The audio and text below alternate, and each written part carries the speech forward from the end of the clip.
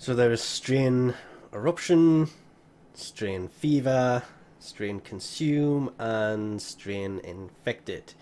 Uh, the weird thing is, deadly efficiency, Arch-Gun Ace, critical focus, sabot rounds. I wonder what sabot rounds is like, considering the only place to get it seems to be uh, phase 3 of the Profit Taker. And it is a 15 point mod. 15 points to fit this thing. Let's just remember that. Normal Rubedo lined barrel is 100% extra damage. This, on the other hand, is 60 and it will add punch through. So swapping these two round would be kind of daft because 15 point mod, 11 point mod. Obviously, any other mods that add a lot of damage are going to be kind of rubbish, but fitting this thing and keeping any kind of damage is next to impossible, really. Where we can change the extend extended magazine, you can see the difference just putting this thing in here. Just kind of, I don't like losing that many magazines because the reload speed on Archwing guns is kind of bad to begin with. So this was the first one that I could find that I can actually fit this in because it's the only one I've formatted. But putting that in here made a huge difference.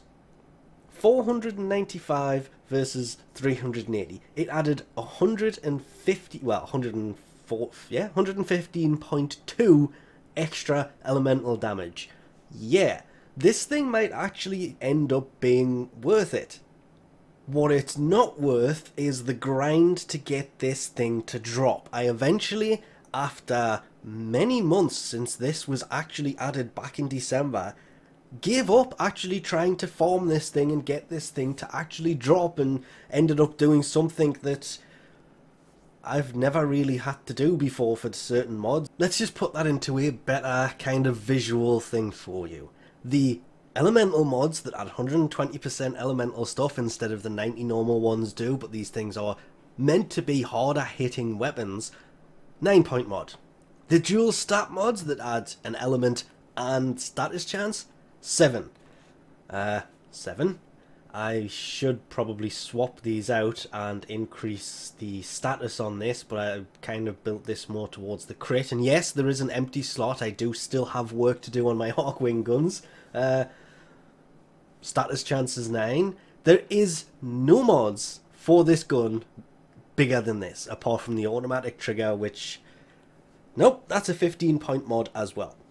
This thing, I just, I couldn't get over the fact that it was a 15 point mod, but it ended up being worth it because once you actually put the thing in here and the Imperator Vandal by no means of the fact was an amazing weapon. It's not a good weapon. It is a good weapon. Sorry. It's not an amazing weapon. It's just kind of an okay weapon. Can be made to be pretty good. When it comes to some of the other Archwing weapons, yeah, I'm still planning on doing the...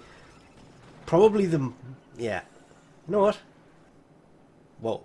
The dual Decurions. I was just going to throw it in here, but, um, yeah. Uh, this needs a lot of work. Video on this coming soon. The Fluctus. This thing as well. Putting it on this, yes, okay, you can see what I had to do was take out the extended magazine, so it lost nearly half of its rounds. It did lose a bit of magnetic damage as well, which I cannot understand. That one makes no sense to me. Uh, the magnetic damage went down by increasing the damage.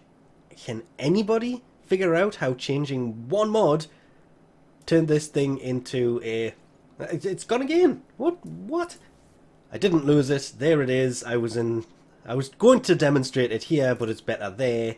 Uh, if you take out the extended magazine and throw this in, you lose a little bit of magazine, but the damage went up quite a bit for everything. And this has kind of an innate punch through anyway, so throwing it on this was a complete waste of time. But even here, I noticed a massive difference in the way that this thing worked, the damage it would do. It actually became more usable, but this is the only one I've thrown any kind of work into because leveling an Archwing gun can be just a pain because you've got to summon it. When you run out of ammo, you have to wait 10 minutes before you can summon it. Sorry, 5 minutes before you can summon it again. It's just painful. Worth it? Yes. Worth the farm or buying it with platinum?